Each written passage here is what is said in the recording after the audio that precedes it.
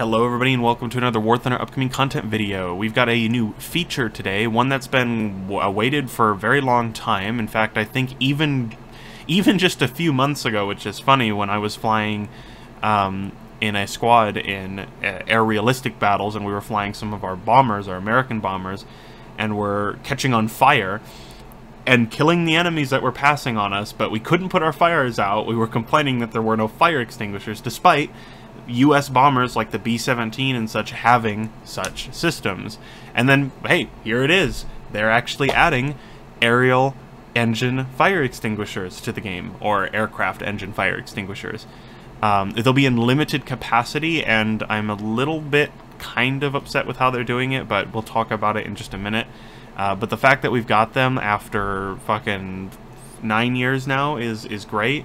Though I guess because they're giving them in limited quantity, back in the day they would have been very short in uh, how many aircraft would have had access to them, I guess. But I don't know, whatever. At least we have them now.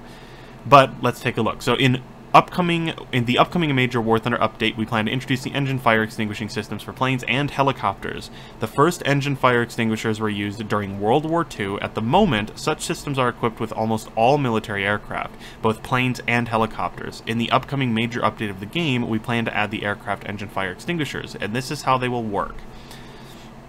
So there are two types of fire extinguishing systems for aircraft engines, automatic and manual.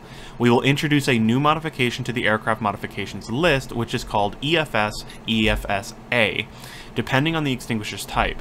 Automatic fire extinguishers are activated when the destruction of the capsule with the firefighting agent by extremely high temperatures occurring during a fire.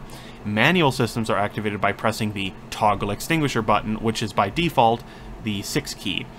Once the system is activated, it may take a few seconds to seize the fire, which will make the engine inoperable.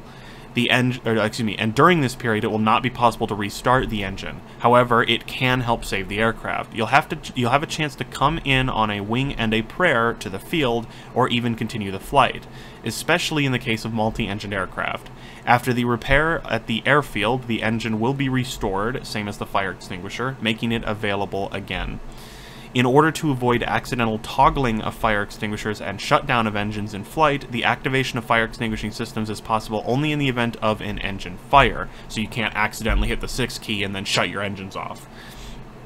In addition, you can also disable the fire extinguishers before the flight if you decide not to use it in combat for some reason. Just uncheck the checkbox in the modifications menu, and then they show a picture of the modifications menu.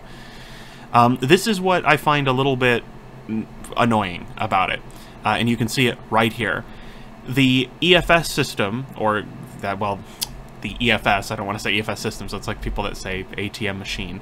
Uh, the EFS is a modification that, number one, is now going to be part of the weaponry tab on the modifications list, which makes no sense. This should absolutely be a survivability uh, modification and for some reason it's at the end of the modifications list, at least in the what they're showing us here with the B-17 G60VE. It's at the very bottom, very bottom right, which means you have to progress not through rank 1 and rank 2 to get to it, but rank 3 as well in order to unlock and start researching this, which means by the time you've um, gotten EFS, you're already at least half, if not further, uh, done with the modifications on these bombers. You've already spent half your time burning to death you know, I mean, we can sit here and complain all day about FPE and ground forces because I think we should start with at least some sort of limited FPE, even, and then the upgrade can give us, you know, the double FPE or something, because it is just so ridiculously not fun to, oh, somebody snotted on my engine and he's dead, and now I have to sit here immobilized and just be on fire and hope a teammate decides to drive by and put the fire out for me, you know, with their limited FPE, which has happened, yes, but it's very uncommon. So now we have a bomber that historically could use these that we have to wait all the way until the end of its modifications list until we can actually start putting fires out after we've already spent hours in flight being on fire and getting killed by it that's just one of that's really the only complaint I have off the surface here.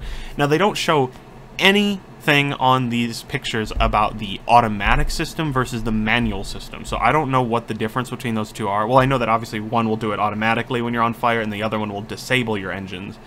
But it doesn't it doesn't show two modifications, like where you, you get the manual one and then you can unlock the automatic. See, that would be, it again, just like FPE, if they started us with something, you could have a modification to have fire extinguishers, manual ones right at the start of the of the of the modification list and then maybe way down at the bottom have an automatic one so that you don't have to do it yourself and you don't have to shut your engines down to do it uh, but I don't know, whatever. So in War Thunder update, in the next War Thunder update, the fire extinguishers will be available to some aircraft and helicopters. See the full list below. As we study the documents, we plan to add this modification to other models of combat aircraft which were equipped with them in reality. Well, I would hope so they actually keep their word on that, because there's a lot of things they were supposed to be adding every new update that they just kind of forgot about.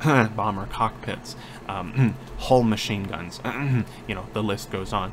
But let's take a look at the list of aircraft. Now, it says all versions across all of these series of vehicles, unless there is not a series of vehicles to consider, so I will name them off and just assume that I am talking about the whole series of those vehicles. Um, for aircraft, the A-10 Warthog, the Harrier, the AV-8, the F-14A Early, the P-61 Black Widow, the A-26, the Tu-4, B-29, B-17s, the PB-4Ys, the PBJs, the B-24s, the B... Well, there's only one B-24. What? Isn't there only one B-24? Why does it say all versions? Is there going to be another B-24 soon?